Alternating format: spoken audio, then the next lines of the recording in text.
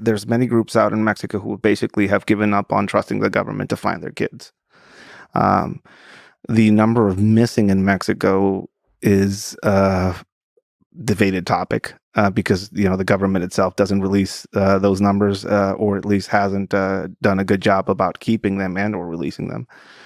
Um, Mexico is a country that has industrialized body disposal. You know, uh, in Tijuana we had the stew maker, the legendary stew maker, which is a, a guy that basically used caustic acid uh, acid to get rid of bodies at a massive level.